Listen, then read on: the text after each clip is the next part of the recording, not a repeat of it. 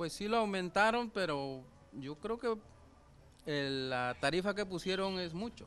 Yo lo, lo que yo pagaría serían 10 pesos por el viaje, ¿no? No por persona. Yo creo que por persona se, se están pasando con el, el cobro. Antes era 5, aumentaron 5 y ahora aumentaron 5, pero por cada pasajero. Y como que es, es mucho. Pues sí, se suben tres personas son 15 pesos.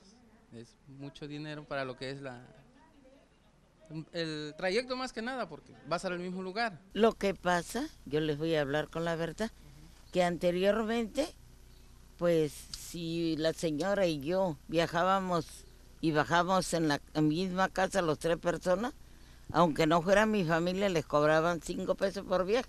Ahora no tiene que ser cinco pesos por cada persona, aunque llegue uno en la misma casa. Bueno, el pasaje del taxi está a 10 pesos todavía, el de mototaxi sí lo están aumentando. Están cobrando, ajá, están cobrando más de lo que cobran, cobraban 5 pesos y ahorita están cobrando 10, cuando vamos dos personas 10, 20 pesos si me llevan a otro lugar y sí, están aumentando. Pero ahora si llevamos niños o ya cobran por todos, pues, los niños. por niños parejo. Ujú. Las mamás que iban a la escuela con sus hijos, ya pues ya les va a perjudicar porque ya van a empezar las clases y van a cobrar ya este más la tarifa.